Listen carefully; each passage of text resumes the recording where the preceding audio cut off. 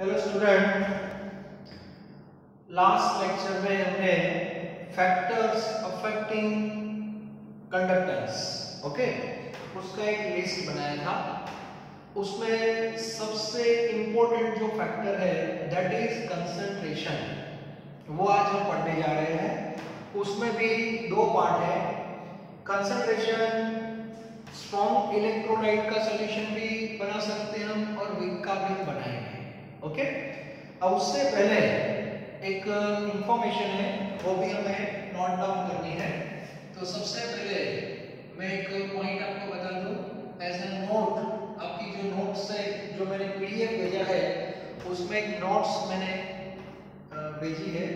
और उसमें what is the meaning of K and what is the meaning of lambda M ये दोनों के बारे में मैंने लिखा है। Okay okay? So K or lambda n both represent conductance, but K that is specific conductance, specific yes, और lambda m जो है that is molar conductance.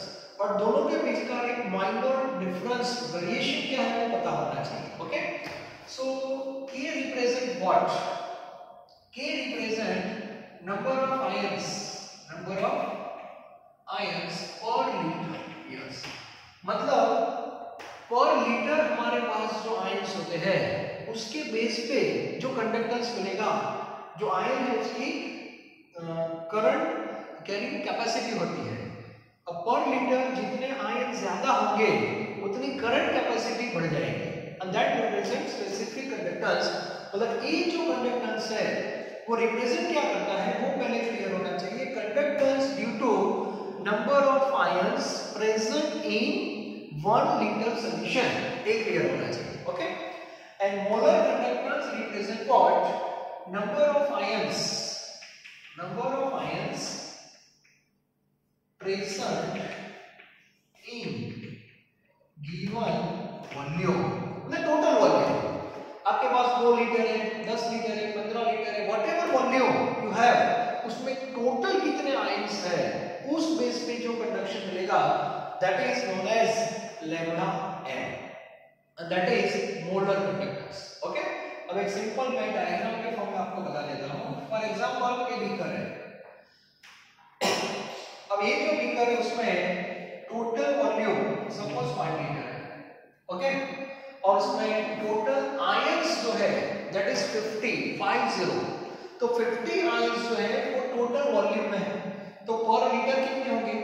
पर लीटर होंगे 10 तो मान लो कि ये 5 लीटर है तो लीटर लीटर के कितने पार्ट में बना सकता हूँ ऐसे 5 पार्ट चलो 1 litre 2 litre 3 litre 4 litre 5 litre okay अब यहाँ पे 10 आयंस है 10 आयंस यहाँ भी 10 आयंस है, यहाँ भी 10 आयंस है, यहाँ भी 10 आयंस है, और यहाँ भी 10 आयंस है और लीटर और लीटर और पर लीटर पर लीटर तो ये जो रिप्रेजेंटेशन है ये रिप्रेजेंटेशन 10 आयंस पर लीटर जो आपको मिल रहा है दैट इज़ के ओके और ये जो आपको मिलने वाला है यहाँ से यहाँ तक का पूरा यस इसमें 50 आयंस 50 50 आयंस पर 5 और ये जो है वो आपका लैम्डा है। क्लियर मतलब आयन दोनों जगह पे है। पर लीटर भी है और टोटल भी है। ओके तो पर लीटर जो आयन कंडक्शन देते हैं दैट इज़ के और जो टोटल वॉल्यूम होता है, उसमें जो कंडक्शन देता है दैट इज़ लैम्डा एम पहले क्लियर होना चाहिए ओके अब ये इनिशियल सिचुएशन है। आपके पास के की वैल्यू भी होगी, आपके पास लैम्डा एम की वैल्यू भी होगी। क्लियर अब मैं ये जो बीकर है मान लो कि बीकर बहुत बड़ा है, ऐसा मान लेते हैं, चलो। ये बीकर में हम पानी डालते हैं। पानी डाल दिया मतलब ए सॉल्यूशन जो है, उसको डाइल्यूट कर दिया। ओके? अब मुझे बताओ डाइल्यूशन जब हो जाएगा डाइल्यूशन यस तो इतना पानी सॉल्यूशन इतना हो गया। तो 5 लीटर जो था, वो कन्वर्ट हो गया 10 लीटर ओके? अब मुझे बताओ जो आयंस थे, वो तो सेम ही है नंबर ऑफ़ आयंस जो पाँच लीटर में थे, वही टेन लीटर में हो जाएँगे, ठीक है? अब मुझे बताओ, इससे के की वैल्यू और एम की जो वैल्यू है, वो चेंज होगी value of K that is decreases and value of lambda M that is increases why why sir ऐसा कैसे होगा तो देखो। अब मुझे बताओ बिफोर एडिंग वाटर और लीटर कितने आए थे? टेन आए थे। अब मुझे बताओ कि टेन लीटर हो गया। तो वन वन लीटर के कितने पार्ट हो जाएँगे? टेन पार्ट हो जाएँगे।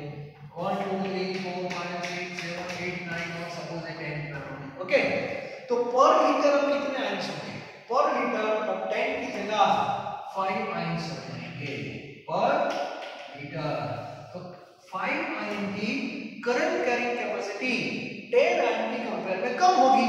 तो obviously value of K that will decrease value of K decrease हो जाएगा।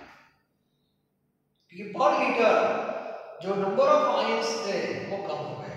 तो उनकी जो करंट कैरिंग कैपेसिटी थी, वो कम हो जाएगी। तो उसकी इफ़ेक्ट जो आती है, वो के को आती है। तो value of K that will decrease अब लैम्बडा एम पे क्या इफ़ेक्ट होगी? अब आप बोलोगे सर लैम्बडा एम तो 50 आयंस ही है ना? लेकिन जो 50 आयंस थे, वो 5 लीटर में थे। अब ये टोटल जो 50 आयंस है आयन तो 50 आयंस ही है। 50 आयन लेकिन ये हो गए अब, और 10 लीटर हो गए। 10 लीटर में 50 आयंस है। अब उससे क्या होगा देखो अब ज़्यादा वॉल्यूम हो गया तो आयन को फ्री स्पेस ज़्यादा मिलेगा घूमने के लिए। तो उससे क्या होगा? कॉलिजन कम हो जाएगा। कॉलिजन कम होगा। कॉलिजन तो रेजिस्टेंस कम हो जाएगा। और रेजिस्टेंस कम होगा तो कंडक्टिविटी इंक्रीज होगी। मोलर कंडक्टिविटी तो मोलर कंडक्टिविटी का जो रिलेशन है that is number of total moles present in given volume is it clear तो यहाँ पे value of K that will value of K that will decrease at the same time value of lambda m that will increase तो ये difference आपको पहले पता होना चाहिए ओके तो मैंने जो आपको नोट्स भेजी है उसमें ऐसा नोट करके मैंने लिखा है k represent what and lambda m represent what and if you add water it means dilution then what happen in the value of k and what happen in the value of lambda ये पहले clear होना चाहिए okay चलो आगे बढ़ते हैं तो ये पहले क्लियर करना होता है, इसके बाद हम फैक्टर स्टार्ट करते हैं। फिर से एक बार हाउ मेनी फैक्टर्स तो उसमें नेचर ऑफ़ इलेक्ट्रोलाइट है टेम्परेचर है देन नेचर ऑफ़ सॉल्वेंट है विस्कोसिटी है टेम्परेचर है and the last and important factor that is concentration okay तो आज हम कंसंट्रेशन से स्टार्ट कर रहे हैं ओके तो one of the important factor which affect molar conductivity now we are interested in molar conductivity okay and that one is concentration तो आज हम पहले कंसंट्रेशन के बारे में पढ़ते हैं। So concentration that is factor okay exam में क्वेश्चन इस फॉर्मेट में आ सकता है। Explain explain effect effect of concentration on molar conductivity molar conductivity of solution ऐसा क्वेश्चन आ सकता है explain effect of concentration on molar conductivity of solution now this theory divided into two sections. The first section that is for strong electrolyte or strong electrolyte.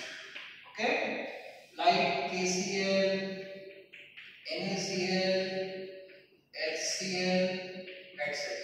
Okay, solution दो type का हो सकता है ना strong electrolyte as well as weak electrolyte तो ये factor दोनों के लिए पढ़ सकते हैं लेकिन आज का जो लेक्चर है that is only for strong electrolyte और कॉलम गिफ्ट के बारे में पढ़ेंगे ओके तो स्ट्रॉन्ग इलेक्ट्रोलाइट का मीनिंग क्या है, वो सबको पहले क्लियर होना चाहिए। तो सब मैंने एग्जांपल बताया है।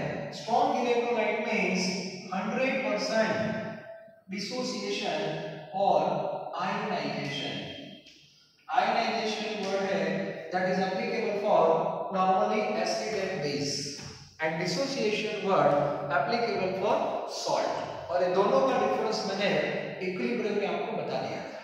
डिसोसिएशन में क्या होता है? आयन जो होते हैं जस्ट सेपरेट ऑलरेडी इसका फॉर्मेशन तो सॉलिड फॉर्म में होता ही है लाइक NaCl NaCl जब सॉलिड फॉर्म में था, तब Na और Cl ही थे. When you dissolve NaCl solid in water, then both ion will dissociate. Such phenomena is known as dissociation. In case of ionization like HCl तो HCl जब bottle में है लिक्विड फॉर्म में तो उसमें HCl में कोवलेंट बॉन्ड है पता होना चाहिए hydrogen acquire partial positive chlorine acquire partial negative because difference in electronegativity if you dissolve HCl in water then covalent bond will break and once covalent bond break H delta plus convert into H plus partial positive convert into full positive partial negative convert into full negative such phenomena is known as ionization तो HCl में ion पहले से नहीं होते हैं पानी में dissolve करने के बाद आयन प्रोड्यूस होते हैं and such phenomena is known as ionization but both having same output दोनों का आउटपुट तो सेम ही है ओके तो ये डिफरेंस पता होना चाहिए। सो 100% आयोनाइजेशन और यू कैन से 100% डिसोसिएशन अभी मैं दोनों का मीनिंग सेम दे रहा हूँ okay another parameter that is alpha, that is 1 alpha क्या है? डिग्री ऑफ़ आयोनाइजेशन और डिग्री ऑफ़ डिसोसिएशन इसकी फार्मूला फिर से मैं रिपीट कर रहा हूँ। अल्फ़ा की formula normal formula total moles total moles add into solution okay and here number of moles number of moles ionized or dissociated for example आपने टोटल 100 मोल दिए और 100 मोल का आयोनाइजेशन हो गया दैट इज़ 1 तो आपका 100 marks के exam थी और आउटपुट अब 10 मार्क्स आल्सो 100 तो वो स्टूडेंट का अल्फ़ा 1 हो जाएगा। और परसेंटेज 100% सिंपल ओके चलो अब हम एक स्टडी कर रहे हैं एक जो क्वेश्चन है उससे रिलेटेड और उसमें एग्जांपल ले रहे हैं केसीएल का। ठीक है? तो सबसे पहले एक सिंपल डायग्राम में ड्रॉ कर रहा हूँ। सपोज़ एक इलेक्ट्रोलाइटिक सेल है।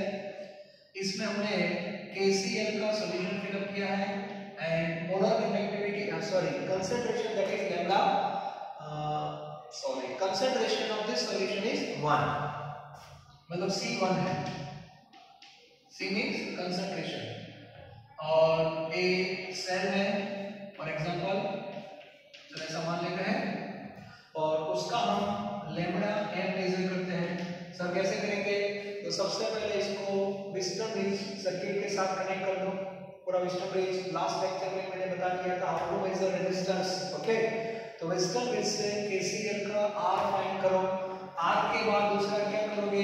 Inverse that is G G को जी स्टार से मल्टीप्लाई कर दो cell constant that is equal to K that is conductance specific conductance sorry और स्पेसिफिक कंडक्टेंस में हमें लैम्डा फाइंड करना है तो k into 1000 upon molarity that is lambda okay तो लैम्डा m की वैल्यू सपोज़ आपके पास है 25 so this is the initial reading Monday chemistry की लैब में मंडे आपने प्रैक्टिकल कर दिया.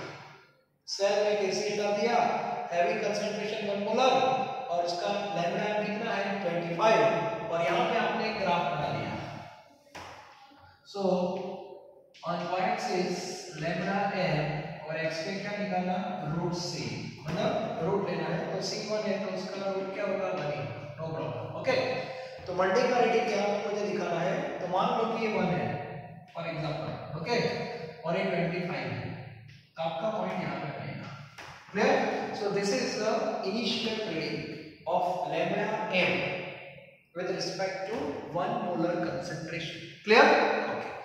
अब ये 25 कंडक्टेंस है मोलर कंडक्टेंस उससे आपको सेटिस्फेक्शन नहीं है ये आपको इंक्रीज लग रहा है तो आपको पता है लैम्बडा एक इंक्रीज करना है। हमारे पास ऑप्शन है we have to add water it mean dilution और डाइल्यूशन करेंगे तो वॉल्यूम तो बढ़ेगा कंसंट्रेशन डाउन होगा। ओके तो अब ग्रेजुअली हम क्या करने जा रहे हैं, उसमें पानी डाल देंगे। चलो, अब इससे क्या होगा बताओ। वाटर ऐड करने से इफ़ यू ऐड वाटर यहाँ से जब आप पानी डालोगे दैट इज़ वाटर तो वाटर ऐड करने से, ये सॉल्यूशन जो है इसका वॉल्यूम क्या होगा? Increase clear okay volume increase no doubt but concentration decrease तो ये जो x कोऑर्डिनेट है that will decrease and y coordinate increase क्योंकि पानी डालते जाओगे तो ऑलरेडी a प्लस और Cl माइनस उनका आयोनाइजेशन तो पहले से हो चुका है. 100% उनका अल्फ़ा भी 1 है. नंबर ऑफ़ आयंस जो है present in total volume that is constant लेकिन पानी डालने से वॉल्यूम बढ़ रहा है। और वॉल्यूम बढ़ेगा तो आयन को घूमने के लिए जो स्पेस मिल रहा है, वो बढ़ता जाएगा। उससे रेजिस्टेंस कम हो जाएगा कॉलिजन कम हो जाएगा और लैम्बडा एन की वैल्यू इंक्रीज होगी। तो लैम्बडा एन की वैल्यू सपोज़ इंक्रीज होगी। आपको तो बहुत अच्छा लगा, ठीक है? तो ये 20 पॉइंट सब जा रहे हैं। लेकिन उसके लिए कंसंट्रेशन को डाउन करना कंसंट्रेशन डाउन कैसे होगा? बाय एडिंग वाटर बस तो पानी डालते जाओ, पानी डालते जाओगे तो वॉल्यूम इंक्रीज होगा कंसंट्रेशन डिक्रीज होगा लैम्बडा एन इंक्रीज होगा तो मंडे ट्यूसडे वेडनेसडे थर्सडे और फ्राइडे फ्राइडे तक आप पानी ऐड कर सकते हो, उसका रीजन है, ये जो वेसल है, उसके लिमिटेशंस आ जाए। उससे ज़्यादा पानी नहीं डाल सकते, वरना ओवरफ्लो हो जाएगा। आपका पूरा प्रैक्टिकल फेल क्लियर तो हमें पानी कब तक डालना है? जब तक वेसल की कैपेसिटी है तब तक। तो आप एक पर्टिकुलर लेवल तक ही पानी डाल सकते हो। मतलब आप पर्टिकुलर वॉल्यूम इंक्रीज कर सकते हो। पर्टिकुलर कंसंट्रेशन डिक्रीज कर सकते हो। पर्टिकुलर एन इंक्रीज कर सकते हो। उससे ज़्यादा आप नहीं जा सकते। क्लियर आप बोलोगे, सर वैसे बड़ी हो तो? हाँ हाँ बड़ी हो तो क्या होगा? उसकी भी एक लिमिटेशंस आएगी ना। इन शॉर्ट आपको जो ग्राफ मिल रहा है दैट इज़ स्ट्रेट लाइन ये बहुत इंपॉर्टेंट है। वैसे की हाइट जो भी हो, आप कितने भी प्रैक्टिकल करो नो प्रॉब्लम लेकिन हर एक प्रैक्टिकल में एक लास्ट पॉइंट आपको मिल जाएगा एंड दैट इज़ लिमिटेशंस तो ये प्रैक्टिकल में ये जो वैल्यू है, ये फाइनल मतलब इससे आगे आप नहीं जा सकते, ठीक है? और इससे नीचे आप नहीं आ सकते। मतलब कंसंट्रेशन आप वन से इतना ही डिक्रीज कर सकते हो बाय एडिंग वाटर और लेमडा एम आप इतना इंक्रीज कर सकते हो तो यहाँ तक आपको प्रैक्टिकल करना है। क्लियर ओके प्रैक्टिकल के बाद ये सब वर्क आपने किया लैब में। अब क्लास में आ जाओ। क्लास में आने के बाद हमें क्या करना है? हमें इतना तो पता चल गया ना कि ग्राफ स्ट्रेट लाइन ही आ रहा है। वो तो फैक्ट है। तो अब हमें क्या करना है?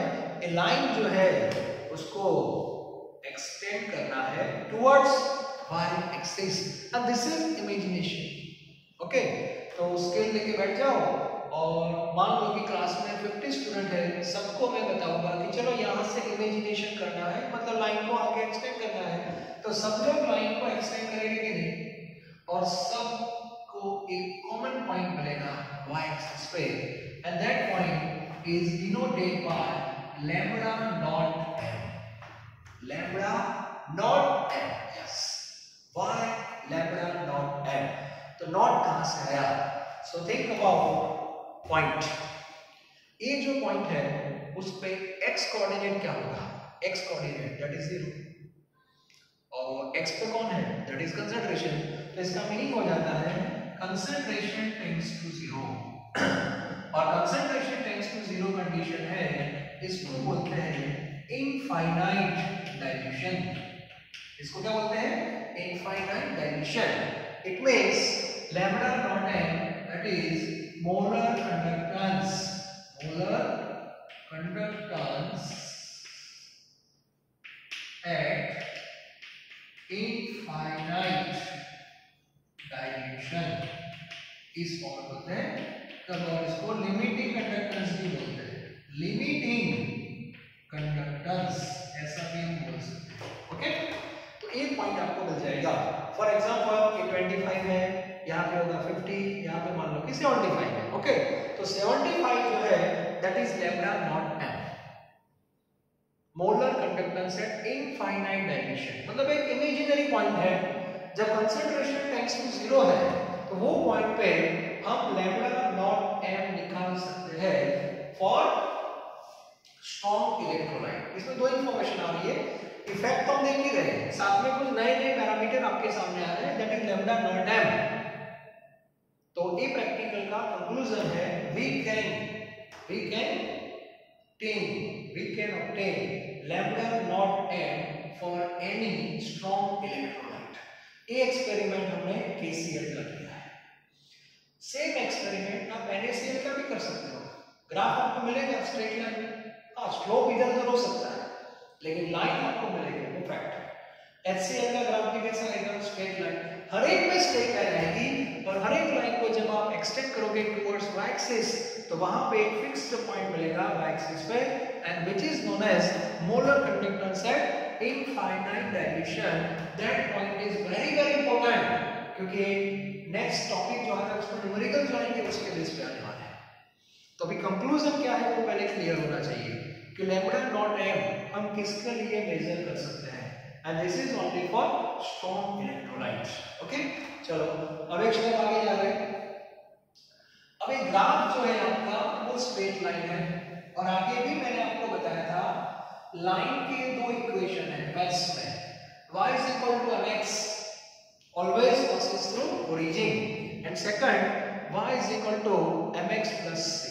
clear तो मुझे बताओ ये जो लाइन है that is related with y is equal to mx plus c तो इसका जो इक्वेशन है वो भी इस फॉर्म में है lambda n is equal to minus a under root c plus lambda not a formula and you to compare with y is equal to mx plus c तो एक्सिस पे कौन आ गया लैम्डा है ये रहा ओके और x पे कौन आ गया? रूट c ये भी आ गया रूट c x पे now what is the meaning of m? So m जो है दैट इज़ स्लोप यस और स्लोप की वैल्यू हो जाएगी माइनस b और c c that is called intercept और इंटरसेप्ट की वैल्यू होगी c c मतलब लैम्बडा नॉट सी और ये डिस्टेंस को क्या बोलेंगे आप? ये डिस्टेंस है that represent lambda naught M ये भी आपका क्लियर होना चाहिए। ओके तो इस बेस पे हम लैम्बडा नॉट एम फाइंड कर सकते हैं। स्लोप से ए भी फाइंड कर सकते हो। और ए किस पे डिपेंड हो रहा है? बता दो। A depends on temperature and types of electron ये भी आपको बताऊँगा types of electrolyte not nature of electrolyte types of electrolyte का नहीं पता है। 1 is to 1 1 is to 2 2 is to 1 like this. तो इसका मीनिंग क्या होता है? मान लो कि आपके पास स्ट्रॉन्ग इलेक्ट्रोलाइट दो है NaCl और KCl दोनों 1 is to 1 है कि नहीं? पॉजिटिव और नेगेटिव आयन का प्रोपोर्शन 1 is to 1 है। दोनों का ग्राफ आपने बनाया टेंपरेचर 25 टेंपरेचर 25 दोनों का प्रैक्टिकल हुआ 25 है। तो दोनों का टेम्परेचर तो सेम है। दोनों का टाइप भी सेम है। तो मुझे बताओ ए की वैल्यू क्या आएगी सेम ए मतलब स्लोप इसका मीनिंग हुआ, दोनों का स्लोप सेम आएगा। मतलब मान लो कि एक ग्राफ केसीएल का है दूसरा पैरेलल एनएसीएल का है। सेम तो स्लोप की वैल्यू सेम रहेगी ना दैट इज़ स्लोप हाँ यदि टाइप चेंज हो गया फॉर एग्जांपल KCl की जगह MgCl ले तो हो जाएगा 1 टेम्परेचर सेम है, लेकिन दोनों का टाइप चेंज हो गया तो एक ही वैल्यू चेंज हो जाएगी। तो मान लो कि NaCl का ग्राफ ऐसा है, ठीक है? तो दूसरे का ग्राफ ऐसा होता है मिलेगा स्ट्रेट लाइन मिलेगा तो स्ट्रेट लाइन ही लेकिन स्लोप चेंज हो जाएगा। क्योंकि तो पूरा डिस्कशन स्ट्रॉन्ग का हो। ही रहा है no problem all are strong electrolyte तो ये आपको पता होना चाहिए। ओके तो स्ट्रॉन्ग इलेक्ट्रोलाइट में आज जो मैंने पढ़ाया, उसमें दो चीज़ें थी। पहली इफ़ेक्ट जो क्वेश्चन है वो आप देख रहे हो कि कंसंट्रेशन हम डाउन करते हैं तो लैम्डा एम कैसे इंक्रीज हो रहा है, वो तो हम देख रहे हैं, ठीक है?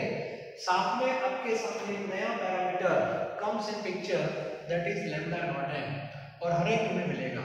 तो इसका कंक्लूजन ये भी निकलता है we can obtain again I repeat we can obtain lambda not M for strong electrolyte आप बोलोगे सर इस पर आप ज़ोर क्यों दे रहे हो? स्ट्रॉन्ग स्ट्रॉन्ग स्ट्रॉन्ग कल आप देखना। कल थोड़ा मैं डिटेल में आपको बताऊँगा लैम्डा नॉट एम एग्जैक्टली क्या होगा उस कंडीशन में क्या होगा वो भी मैं थोड़ा बताऊँगा। और वीक इलेक्ट्रोलाइट में ऐसा नहीं होगा।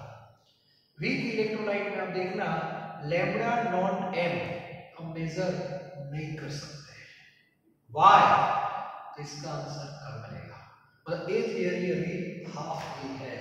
अभी ये टॉपिक कंटिन्यूस है तीन मार्क्स में यदि क्वेश्चन आया। तो एक ऐसे टाइटल पे explain effect of concentration on molar conductivity of solution क्योंकि सॉल्यूशन दो कैटेगरी में बनेगी, एक स्ट्रॉन्ग का बनेगा और एक वीक का बनेगा। आज जो मैंने डिस्कशन किया, वो स्ट्रॉन्ग के लिए था। स्ट्रॉन्ग में ऐसा ही ग्राफ आएगा। स्ट्रॉन्ग में ऐसा इक्वेशन भी आएगा। ए क्या है? सी क्या है? आपको पता होना चाहिए। ए किस पे डिपेंड है? वो भी क्लियर होना चाहिए। एमसीक्यू में आपको हेल्प मिलेगी। छोटे छोटे पॉइंट्स हैं उस पर थोड़ा फोकस ओके अल्फ़ा वन होता है। ओके तो ये सब इंफॉर्मेशन आपकी क्लियर होनी चाहिए। तो कल हम एक और थियरी के साथ आगे बढ़ेंगे, लेकिन होगी वीक इलेक्ट्रोलाइट की।